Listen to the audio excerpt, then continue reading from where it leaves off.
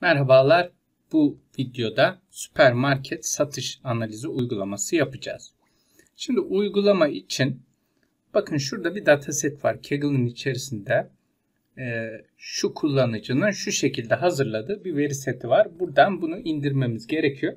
Tabi bunu indirmek için de sisteme giriş yapmanız lazım. Şayet Google hesabınız varsa bununla da girebilirsiniz. Dataset şu şekilde bakın. İçerisinde bazı veriler var satışla ilgili. Ee, bunu indirip bakalım. İşte ürünün satış e, numarası, ürün ID'si, satış tarihi, e, kargo yani iletim tarihi, işte iletim yöntemi şeklinde customer ID'ler var. İşte alan kullanıcılar var.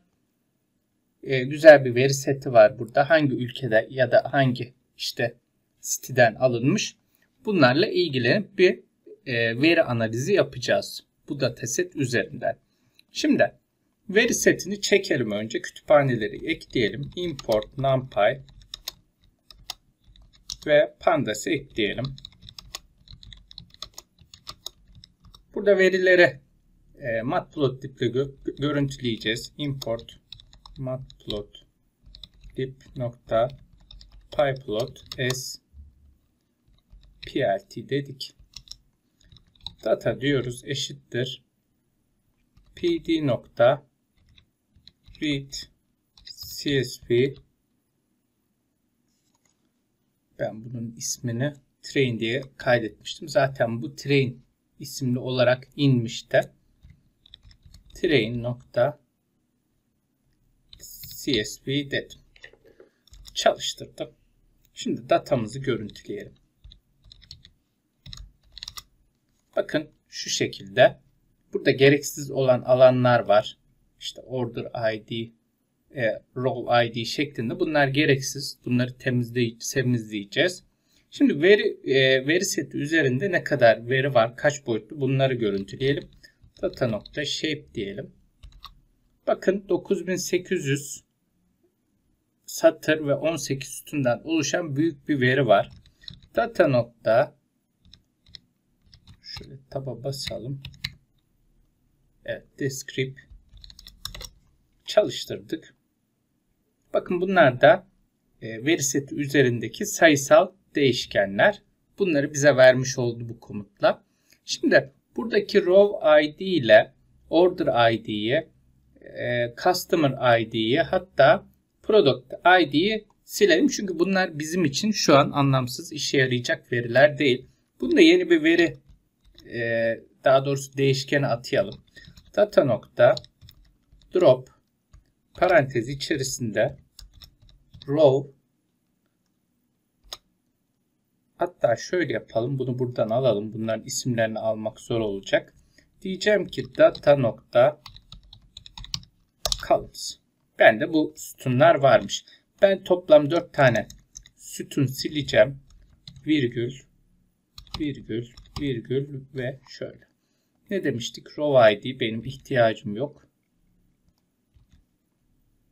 Order ID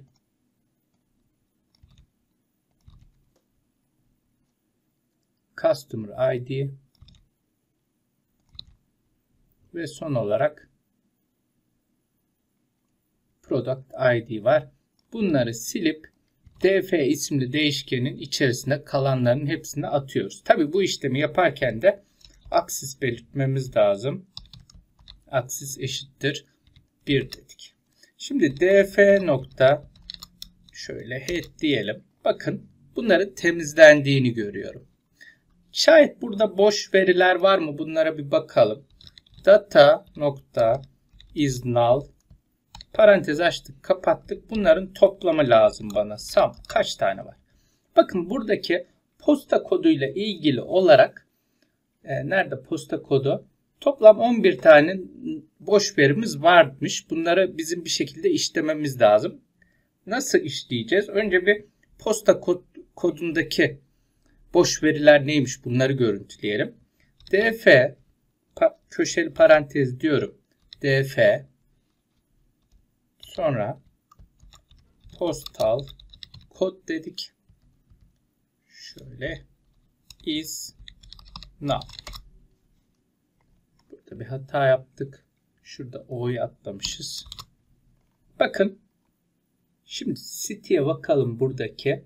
Bakın Burlington isimli şehirde posta kodları nanmış. E ne yapacağız? Bunu internetten bulalım. Burlington zip kod. Evet. Bakın şu 5402, 5401 bunlardan birini alabiliriz. Bakın baş, başındaki veri 0 yalnız. Biz bunu 0 şeklinde değil de doğrudan almamız lazım. Neden? O şekilde alırsak integer atamayabilir veriyi. df köşeli parantez postal kod dedik. Eşittir df postal kod nokta fil ne doldur diyoruz. Ne ile? 5402 ile bunları doldur dedik. df diyorum şimdi. Bakın görüntülendi. Tekrar biz şu satırı çalıştıralım. İznav var mı diye. Bakalım var mıymış. Bakın e, yalnız burada biz uygulayamadık. Neden yapamadık? df postal code filnea 540 aslında burası doğru. Tekrar bakalım şuna. Bu df olacak tabi. Bakın eksik bir verimiz kalmadı veri setinde. Peki eksik verileri doldurduk. Ama gerçekten bu işlemi doğru bir şekilde yaptık mı? df df şöyle yanlış oldu.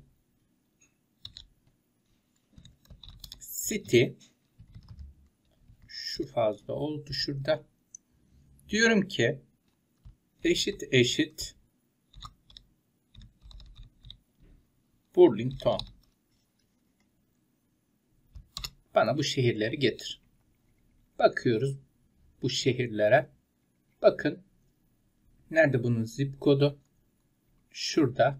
Bakın bazıları şuymuş. Bazıları da benim eklediğim şekilde 5402 şeklinde veri seti üzerine işlenmiş oldu. Yani doğru bir şekilde biz bu işlemi yapmış olduk. Şimdi diyelim ki bana aylara göre ve yıllara göre satışlar lazım. Benim buradaki ay verisini çekmem lazım. İki yöntem var. Bakın burada indis numarasına yani e, indis değerine göre çekebiliriz ya da buradaki değeri date time yapıp buna göre çekebiliriz ki ben ikisini de sizin için nasıl olduğunu yapacağım. Ay sütununu oluşturalım. Ay sütunu. df bunun ismi mount olsun ay yani eşittir df ne diyeceğiz? Order date. Bakıyoruz. Bakın. Order date. Buradaki veriyi alacağız. Yalnız bunu alacağız da bunun str diyeceğiz. Kaçıncı indislerini alacağım? Hemen bakıyorum. Bakın 0, 1, 2. 3'ten itibaren alacağım. 4'e alacağım. 5'e kadar 5'i almayacağım. Dolayısıyla benim buraya 3'ten 5'e kadar demem lazım. 3 2.4 dersem tek bir hane alır. df diyelim. Tabi bu köşeli parantez olacak burada. Şurada artık aşağı inecek. Bakın burada bir mount isimle bizim verimiz oldu. Bu başındaki değerleri de sıfır olarak algıladı. Bunları da tabi bu e, integer almadı. Hemen bunu integer'a dönüştürelim. Normal veri olsun. E, o zaman ne yapacağız? Şurada şunu tekrar alalım.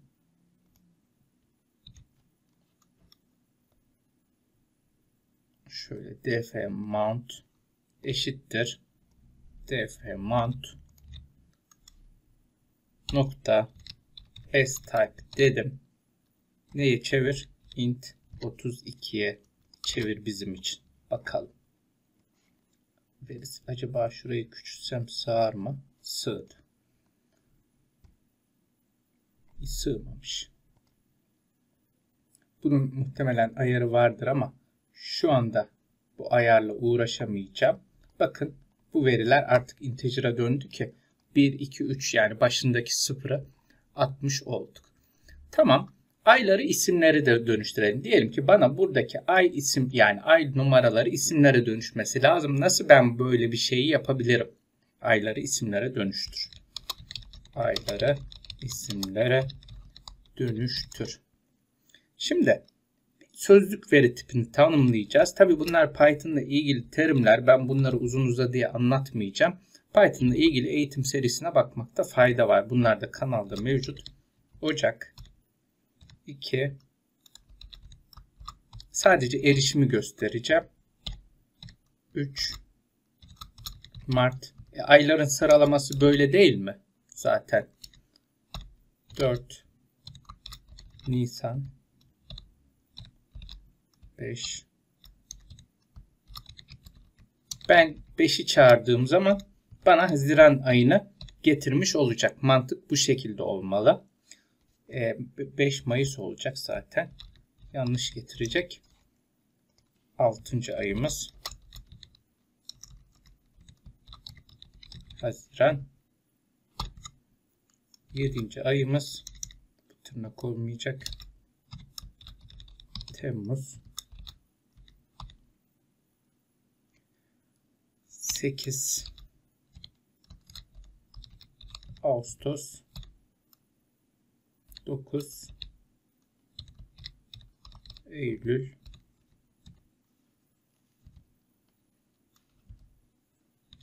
on Ekim 11 Kasım ve 12 Aralık dedik. Kontrol ediyorum. Doğru gibi şuralar. Şimdi çalıştıralım. D bakın bu şekilde nasıl ulaşırız elemanlara? D'nin 5. değeri neymiş pardon 4. Nisan'mış. Bakın bu şekilde ulaşılıyor. Şimdi buradaki e, mantığa göre bunları şuraya yerleştireceğiz. Şuraya. Nasıl yapacağız? Hemen bakalım. Şimdi df mount eşittir köşeli parantez. Burada yine e, de, e, Python derslerinde anlattığım list comprehension metodunu kullanarak tek satırda bakın D'nin her bir indisine. Artık hangisi ise sıfırsa ona karşılık e, pardon 1 ise birden başlayacak ocağa. 5 ise gelen değer şuradan gelen değer okuyacak yukarıdan aşağı doğru. Buraya işte Mayıs'a atayacak şekilde. Nasıl yapacak? Üzerinde gezintileme işlemi yapacak. df neyin üzerinde gezintileyecek? Mount ve bu işlemin sonucunu da tekrar şuraya atacak. Bunun büyük harfli olması lazım. Bunu da bir görüntüleyelim. İşlem bittikten sonra. Bakalım. Gördüğünüz gibi doğru bir şekilde yapmış. Kontrolünü sağlıyorum. Kasım, Kasım, Haziran, Ekim Ekim olması lazım. Gayet de doğru bir şekilde bu işlemi de yaptık. Bakın sayısal verileri buradaki kategorilere dönüştürmüş olduk. Başka ne yapabiliriz? Şimdi buradaki yıl bilgisini de çekelim. Ay bilgisini çektik ya biz yıllara göre satışı bulacağız diyelim.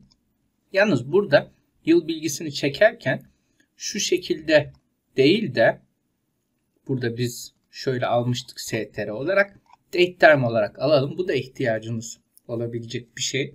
Şimdi df order date isimli sütundaki değerimize diyelim ki bu değeri dönüştüreceğiz. pd nokta to date time df köşeli parantez order date. Bu sütuna bunu date time'a dönüştürerek ata. Bakın şu an aralarında slash işareti var. Bakalım nasıl dönüştürecek. df diyorum tekrar. Bakın aralarına tire koydu. Bunlar artık bir date time e, türünden, zaman türünden bir değere dönüşmüş oldu. Şimdi bunun aynısını ship date için de yapabiliriz. Şuradaki aldık. Ship gönderilme tarihi e, böyle lazım oldu. df bakın bunu da çok kolay bir şekilde dönüştürmüş olduk. Şimdi buradan yıl verisini çekeceğiz. 2016'yı nasıl çekeceğiz? Bunu görelim. df year dedik. eşittir df yani böyle bir sütun oluşturuyorum. Diyeceğiz ki order date nokta date time nokta year. Buradaki yıl bilgisini al ve son olarak bize görüntüle. Bakın geldi mi? Geldi. 2016 2016 2017 bu da doğru bir şekilde gelmiş. Buradaki verileri de aldık. Şimdi e, burada satış miktarı ya da şeye bakalım. Hangi yıl kaç tane öncelikle veri var? Yani 2018'den kaç tane veri var? Bu bize satışla ilgili bilgi verir mi? Verir. df year nokta value count. Bakın 2018'den 3200 veri varmış. 3258. 2017'den bu kadar. 2016'dan bu kadar olarak düşünebiliriz. Yıllara göre satış hakkında bize bilgi vermiş oldu mu? Oldu. Peki hangi ayda en fazla satış yapmışız? Bunu da benzer şekilde aslında görüntüleyebiliriz ama bu çok da işlevsel olmayabilir. Mount. Bakalım sütunumuzun ismine. Bakın verdi. Tamam verdi ama tamam bu satış sayısı ama benim ihtiyacım olan değil. Ee, burada kaç veri olduğu var ama e, birden fazla ürün satılmış olabilir. Yani bu aralıkta sales dediğimiz satış miktarını vermiyor bize. Sadece sayısını veriyor. Yani bir müşteri gelmiş, beş müşteri gelmiş ama bu totalde ne kadarlık bir alışveriş yapmış. Bunu nasıl yapacağız? Hangi ayda satış fazla? Burada group by metodu kullanacağız. Mounts df eşittir df nokta group by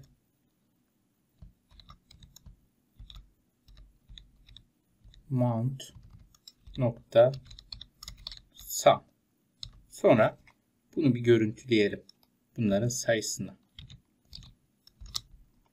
Bakın bize burada bunlar sayısal değerler olduğu için e, bunları da vermiş oldu.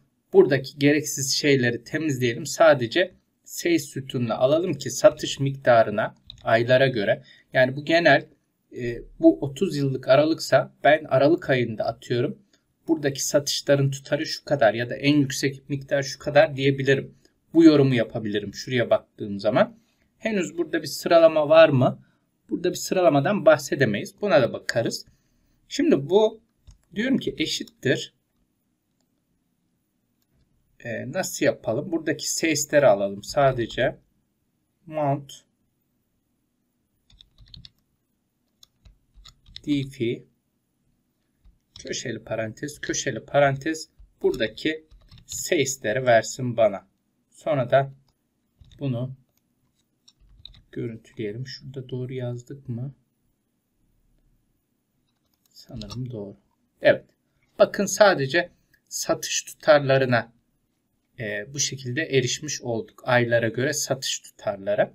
Şimdi yalnız burada e, bu bizim indeksimiz gibi olmuş. İndeksi bir reset diyelim. Bu mouse df nokta reset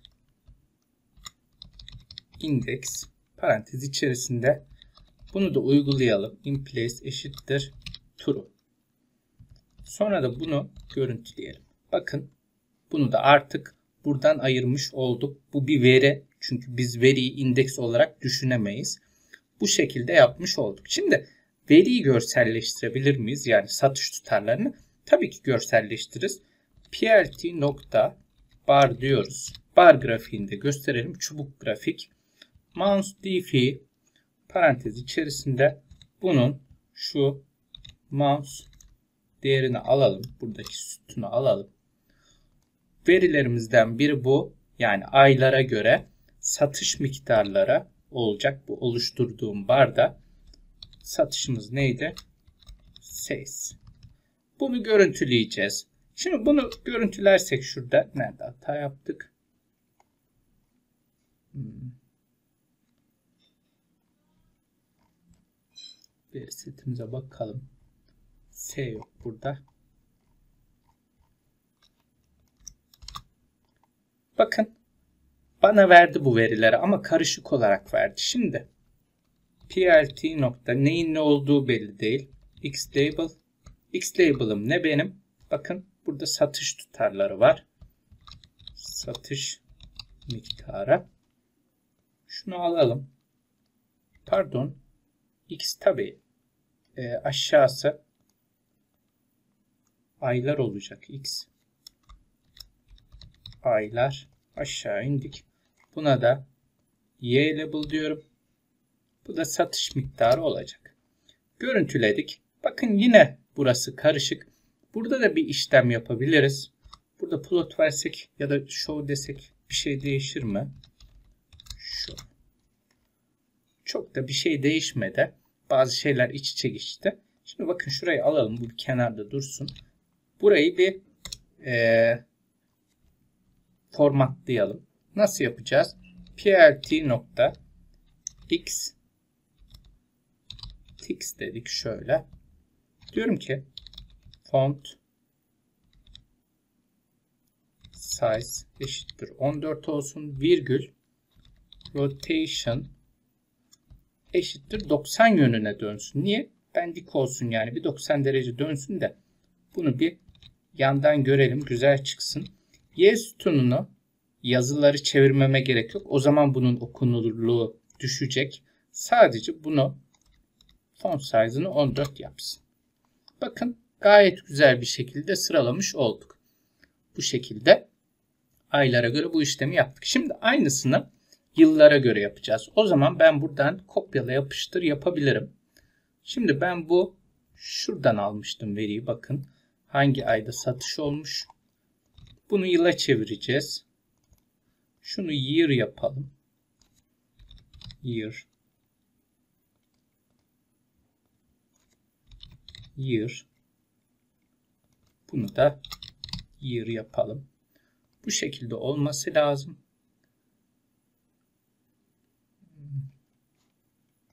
Bir de burada sonraki diğer veriler gelmesin istiyoruz. Şurayı kopyaladık. Hani e, sayısal olan tüm veriler gelmişti ilk başta şurada yaptığımızda. Şu posta kodu ve year. Bunları da hazır buradayken temizleyelim madem. Şöyle year diff sadece sales olanları bana verdi. Bakın 2015 yılı, 2016 yılı, 2017 yılı, 2018 bana göre 2018'de yani burada bana göresi yok zaten gösteriyor. En yüksek satış rakamlarına ulaşmışız. Şimdi şurayı komple alalım. Şöyle. Şu year diff'i alalım.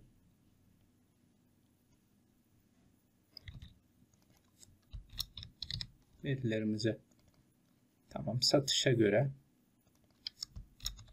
yıllar nerede hata yaptık year ben buraya ne yazmıştım peki year yazmışım aslında ama group by o zaman Şurada hata var.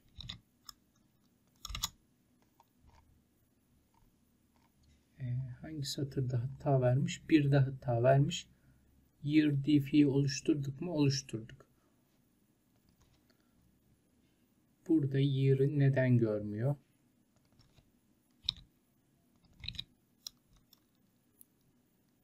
PLT bar year diff'i buradaki satışı ver dedik aslında. Bir saniye. Sanırım biz burada yani indeksleri resetlemedik. Bunu indeks olarak aldı.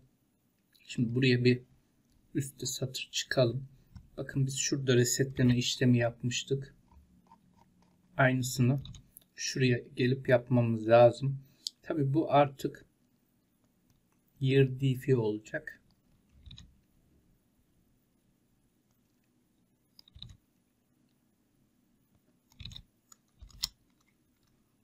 Tekrar çalıştırıyoruz.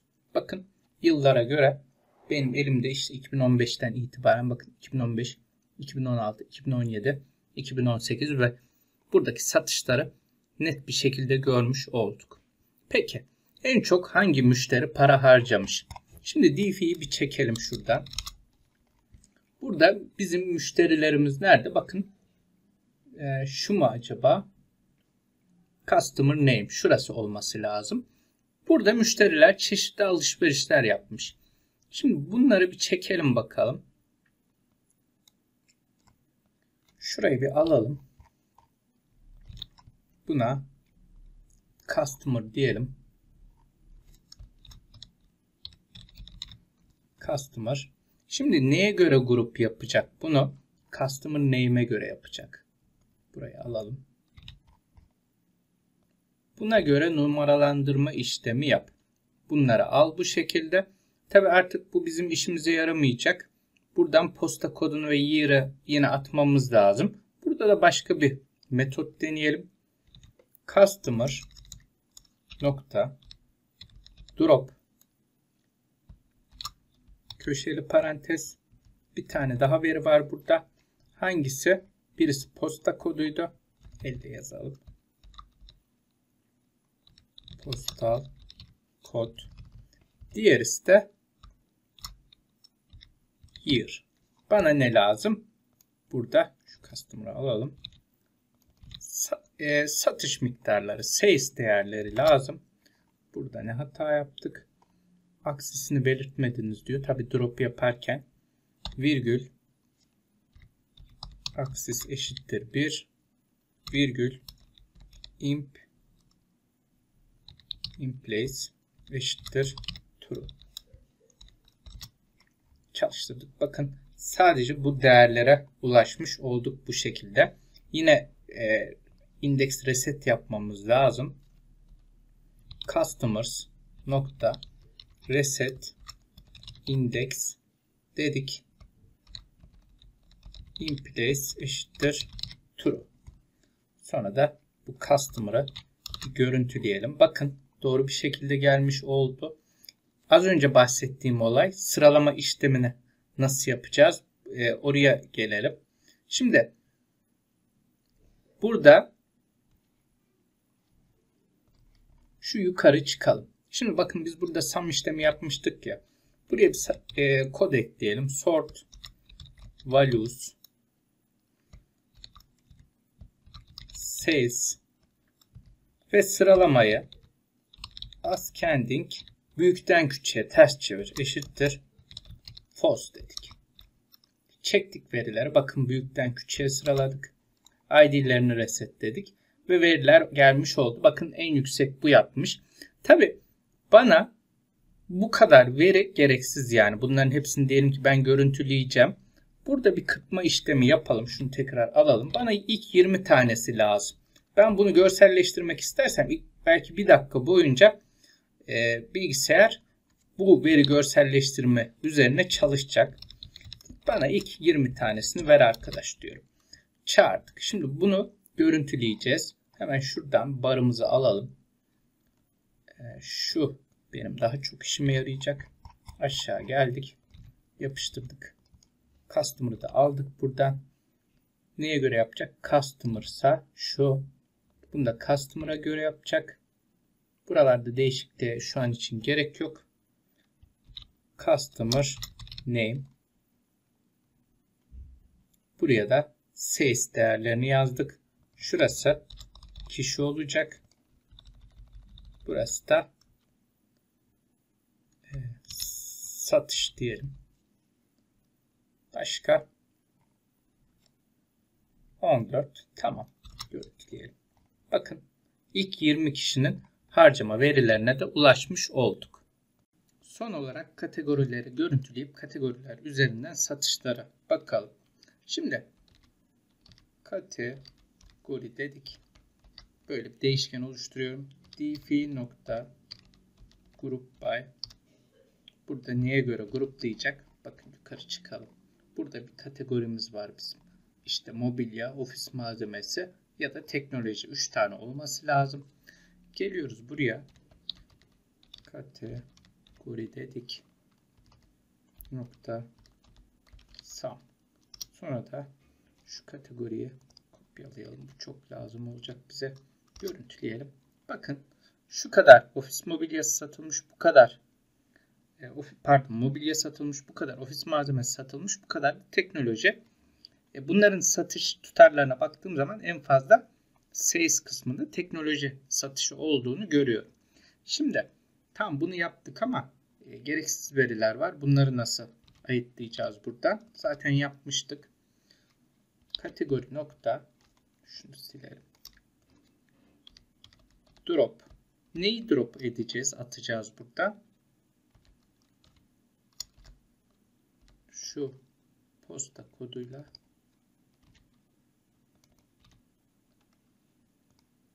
virgül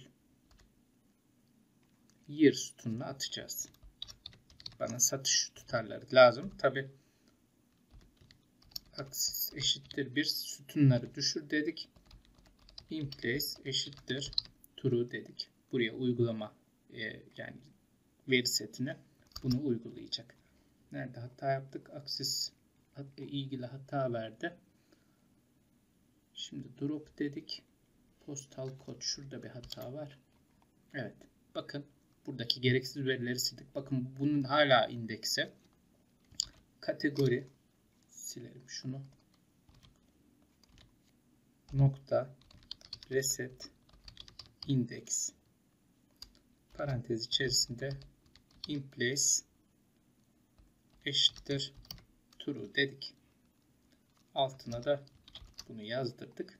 Bakın artık bunu da kategori olarak aldı. Şimdi bunu görüntüleyelim. Bir barla görüntüleyelim. Bir de pasta grafiği oluşturalım. Şimdi benim burada bar grafiğim şuraya aldık. Getirdik. Bana bir de kategori lazım. Kategoriyi buraya koyacağım. Bu da aynı şekilde kategori olacak. Bu tabi artık year olmayacak. Ee, kategori olacak. Bu da sales doğru.